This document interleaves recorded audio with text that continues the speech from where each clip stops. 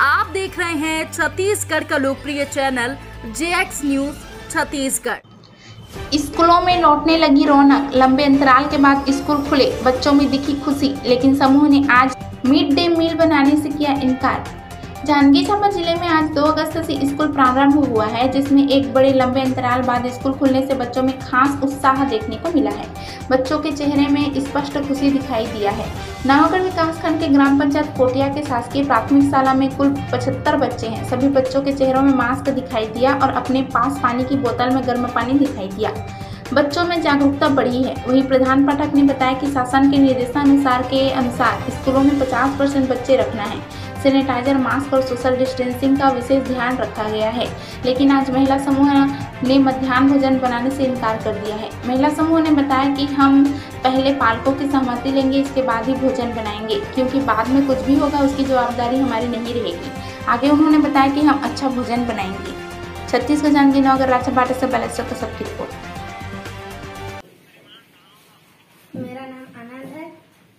कक्षा चौथी गाँव कोटिया। एक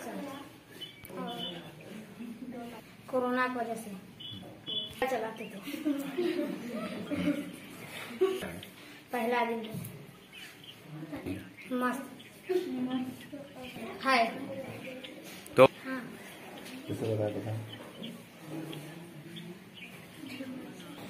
खा, खाने से पहले हाथ धो लेना है। आने के लिए सैनिटाइजर लगा के मास्क लेके आना मैं क्लास पांचवी में पढ़ती हूँ। क्लास का क्लास का नेम किरण सुनमा संक्रमण के वजह से हम लोग स्कूल नहीं आ पा रहे थे। पांचवी।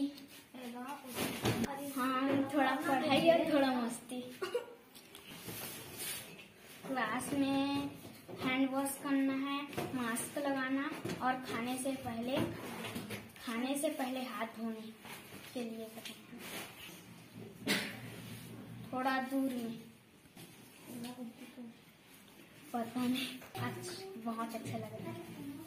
हाँ हाँ मेरा नाम श्रीमती रमा श्रीवास है। मैं प्राथमिक शाला कोटिया में पढ़ता हूँ।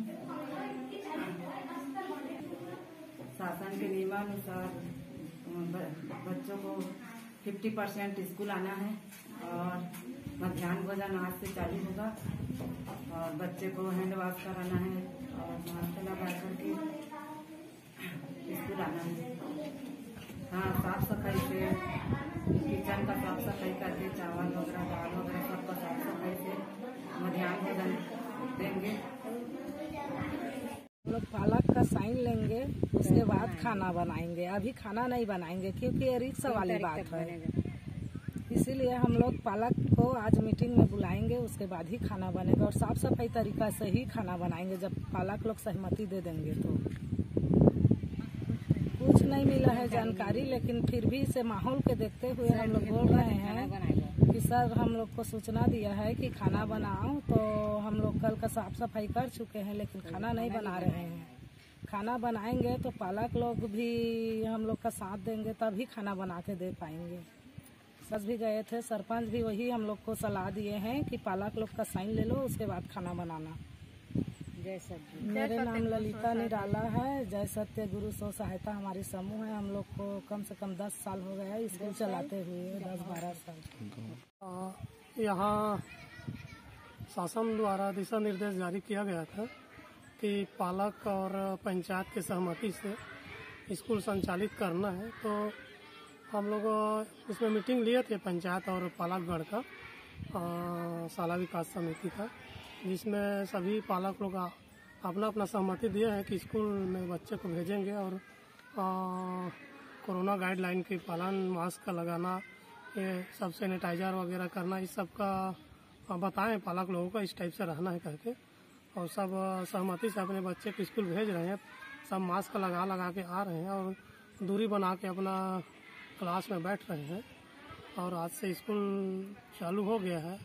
और रही बात मध्यान्ह भोजन की तो शासन का निर्देश है मध्यान्ह भोजन देना है बच्चों को। आ, तो इसमें हम लोग स्व सहायता समूह जो मध्यान्ह भोजन चलाती है यहाँ उनको बुलाए हैं। तो इनका कहना है कि हम लोग पालकगढ़ से सहमति लेंगे कि वो लोग अपने बच्चे को मध्यान्ह भोजन खिलाने में राज़ी हो रहे हैं कि नहीं हो रहे हैं, उसके बाद बनाएँगे, बोल रहे हैं। तो अभी हम लोग पालक लोगों को बुलाए हैं, अभी बारह बजे तक फैसला हो जाएगा और उसके बाद फिर सबके सहमति से मध्यान्ह भोजन पकाएँगे और बच्चे को खिलाएँगे सुरक्षित ढंग से। ग्राम पंचायत कोटिया है, मैं, मेरा नाम शिव कुमार लहरे है, मैं सरपंच पुत्र हूँ।